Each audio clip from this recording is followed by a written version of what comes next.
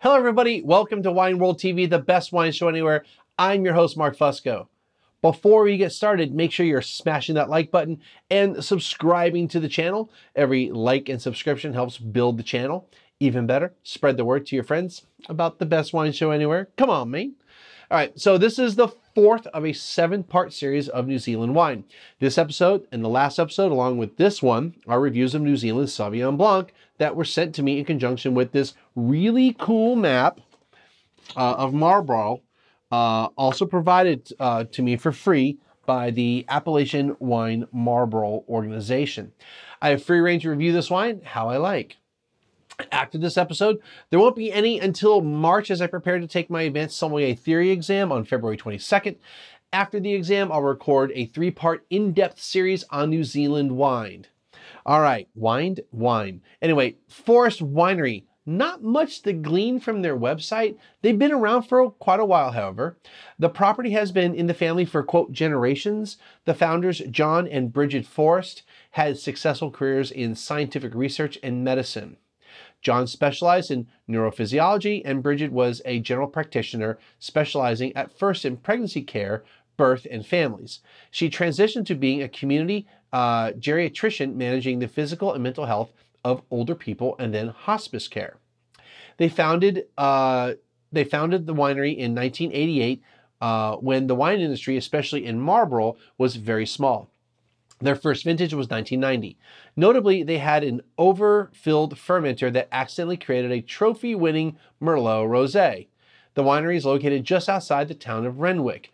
John is known for making lower alcohol wines, being a pioneer of the screw cap and pushing the boundaries in New Zealand wine.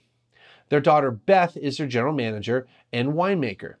She has a master's in enology from Adelaide University. From her bio, it looks like she is similar to her father and likes to push the boundaries of winemaking and experimenting.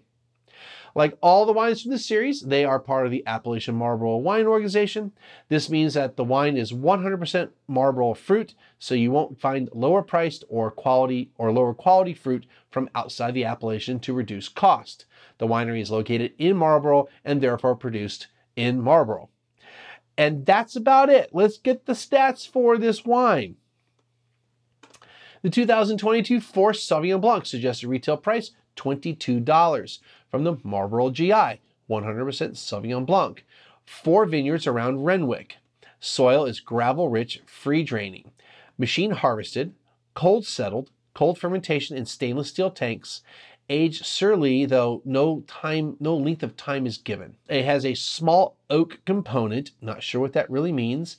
Uh, the ABV is 12.5%. The RS, or residual sugar, is 3.8 grams per liter.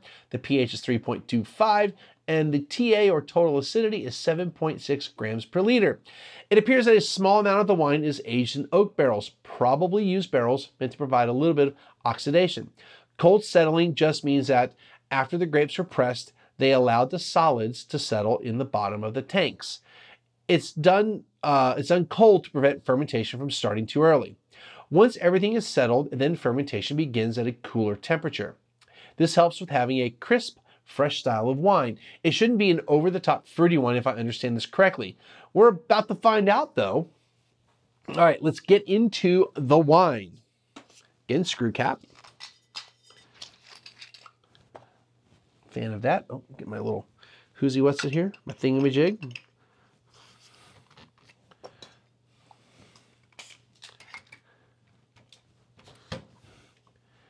Alrighty. So doing this series has been really educational. Um, while you won't see the in-depth series till after the exam, um, it's been great to research all that. So I should be good to go on that section of the exam. Though last year I only had two questions about New Zealand and they were both related to the same region. So anyway, uh, And again, this map is really cool before we get into it. I know I put it up already, but this map is super cool. Please make sure you watch that first episode where I go more detail the map, do like close-ups of everything. Um, I said in the first in the episode about the map that the more you look at it, the more you find. And I mean, you find that with other maps, but there's lots of details on this thing that's just really cool to look at. All right, let's check it out. So different than the other two wines, lots of bubbles in here from the Coravin. Um, so just it was more noticeable to me.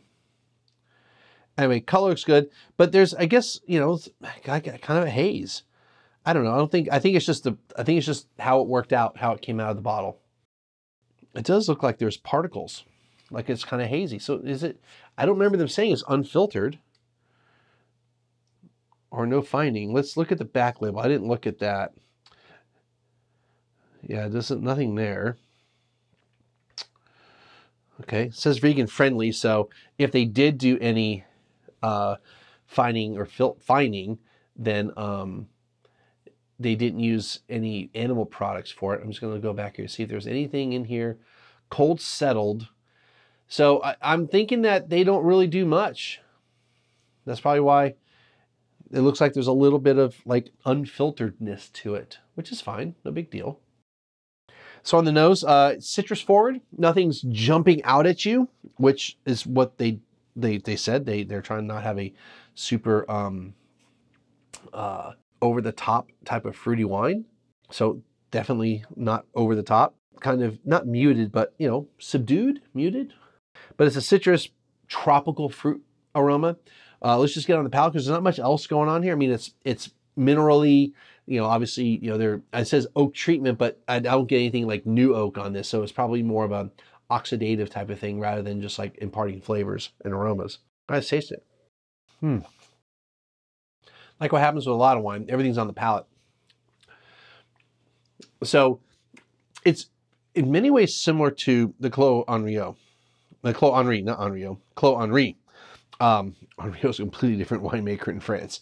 Um, more similar to this, but this has more fruit. I mean, the Henri is really that subtle, like, I don't like to say elegant necessarily, but that really kind of, I don't have better words to say other than subtle, sophisticated, I don't know, but not in your face. This is not in your face by any means, but it's kind of in between the two.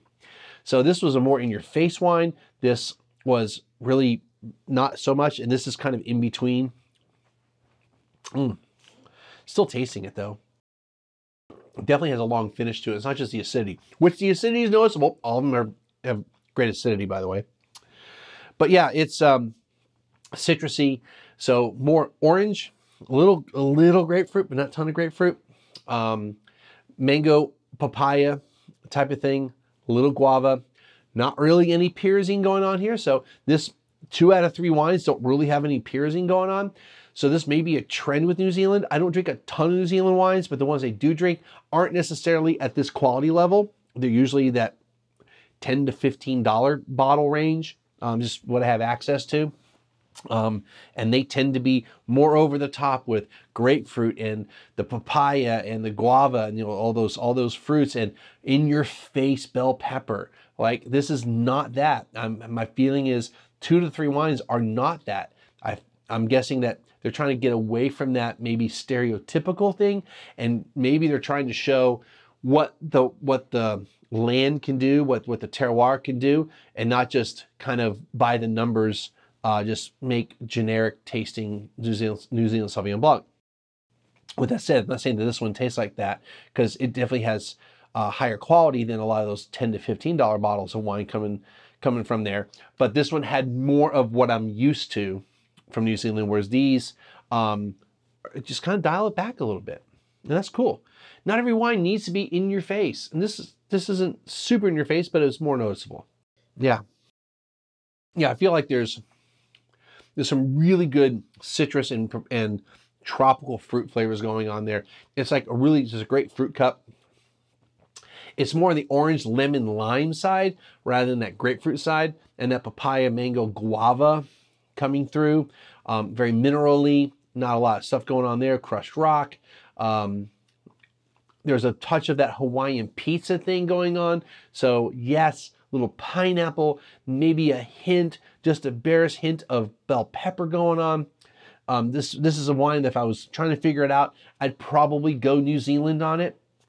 Um, but again, I could potentially take this to Sancerre. Um, this is a tweener wine. Uh, this is a wine that you know could go either way with that. But I would probably lean towards uh, New Zealand on it. And there's still bubbles going on in here. Not not bubbles like a champagne where you know they're constantly coming up, but there's definitely a little bit of carbonation that that stayed in there. And screw caps kind of do that. It's a little bit of a trick when you're doing blind tasting. When you know it's a still wine and after it's been poured, you have a decent amount of bubbles in there. Um, screw cap wines tend to, this is not a 100% like for sure certain thing, but screw cap wines tend to have a little bit of spritz to them or a little bit of carbonation, not a frizzante thing, you know, not intentional, not like they, they, they don't intentionally carbonate it, but because of the nature of the screw cap, it kind of captures some CO2 and it kind of stays in the wine a little bit and you kind of notice it in bubbles. This one had the most of all of them. The other two, well, this was not screw cap. This one, I didn't really notice any extra bubbles. It, it poured, it was fine. Um, this one, there's definitely some more bubbles to it, you know, a few minutes after the fact. So that's a little tip for you when you're trying to do your, your um, uh, blind tastings, because know where the screw caps are. New Zealand, if I was in if I was in an exam and I had a significant amount of bubbles in this, you know, at, knowing that they'd poured it probably five minutes prior, and I still saw bubbles, and I made a comment about it, that would, and knowing this and, and having a high probability of being Sauvignon Blanc, I'm taking New Zealand. And then at that point, I'm just going Marlborough. Why? Because Marlborough produces more Sauvignon Blanc than anywhere else in the world. Um, and so some of this is, you know, just knowing your market, knowing your theory, you know, who produces the most of what. Sorry to go on that tangent. It's a good wine though. I like it. If I had to rank the wines, because this is the third episode, this is the one that I probably prefer on on the surface the most because it's it's the most familiar of, of the New Zealand Sauvignon Blancs. Then this one, and then this one. But what is the most interesting to me? I think this one's most interesting to me because I want to peel back some more layers. I want to I want to like open this bottle and drink it over a couple hour period of time and really delve into it and see what see what it's got. Um, this is more like I just want some good wine um, that's high quality, not like you know chuggable, but like just really good high quality wine that's like yeah. And this one's kind of in between. They're all excellent quality, you know, 20 to $25 ish price range, um, at least in the US market. So remember, like one of them I found it was like $13, okay, or $20 in New Zealand, it's like $13 US. That's always you have to remember that something we're paying 20 to $30 in the US for imported wine is usually a more value priced wine in the country of origin. This is how it works. Um, when we start getting to $50, $100 import, now we're getting into, you know, 50, you know, 25 to 50 bucks local prices. So I think all three are excellent quality. Um, I will enjoy all three of them at some point, probably really soon. And that's going to do it for today's show. So if you enjoy what I'm doing here, make sure you hit the like button and subscribe and tell all your friends. And we'll see you next time, hopefully with some Forrest Sauvignon Blanc. Cheers.